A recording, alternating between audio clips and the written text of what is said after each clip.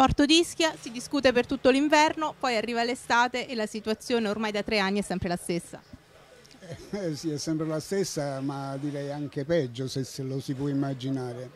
Perché quando è iniziato questo diciamo, trasloco diciamo così, degli aliscafi al pontile qui della rotonda, all'inizio anche le società di navigazione praticamente cercavano di collaborare, quando arrivavano con gli aliscafi vicino alla banchina spegnevano i motori, si tenevano determinate attenzioni. Adesso ci troviamo praticamente alla terza estate in questa situazione.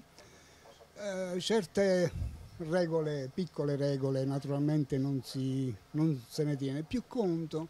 Gli aliscafi non spengono i motori, abbiamo aliscafi eh, praticamente che fanno dei rumori assurdi, praticamente oltre ogni eh, tolleranza possibile e immaginabile, fumi praticamente irrespirabili senza tenere conto che ci sono delle attività a pochi metri, attività di ristorazione, senza tenere conto che ci sono delle abitazioni. La capitaneria che dovrebbe controllare naturalmente come di norma non controlla nulla, non tiene conto nemmeno delle stesse ordinanze praticamente sue, non dico del codice della navigazione, quello ormai è stato cestinato da tempo, non dico delle ordinanze della regione, non dico delle ordinanze della capitaneria di Porto di Napoli, ma delle proprie ordinanze non tiene conto. RINA che dovrebbe controllare la sicurezza dell'armamento, che dovrebbe controllare la sicurezza, mi fa ridere. Se tu pensi le normative oggi che ci sono nessuna di queste barche potrebbe navigare.